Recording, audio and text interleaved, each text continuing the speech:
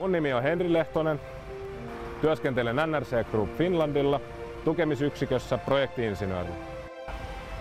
Taustalla meillä näkyy Plasser Toilerin 0932 CSM kahden pölin satelliitti raiteen tukemiskone.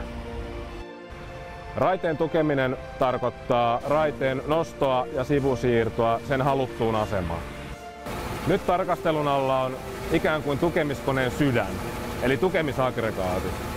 Tukemisaggregaatit mahdollistaa sepelin uudelleenjärjestelmistä. Raiteita tuetaan rakennusvaiheessa, mutta myös luonnollisesti kunnossapitotuentana, joka ylläpitää raiteen haluttua geometriaa. Raiteen tuen alla mahdollistetaan muun muassa henkilöliikenteen turvallinen liikkuminen Suomen rataverkolla. Raiteen tukeminen on päällysrakennetöissä ikään kuin se viimeinen silaus. Tämän jälkeen rata on sen suunnitellussa asemassa. Meillä tukemisyksikössä jokaiselta tukemiskoneelta kerätään laatudokumentaatio, jota kansankielellä kutsutaan piirturin käppyräksi. Ja se toimitetaan sekä sisäiselle että ulkoiselle asiakkaalle työn päätyttyä. Lisäksi huolehdimme siitä, että tukemiskoneiden mittalaitteet on kalibroitu asianmukaisesti.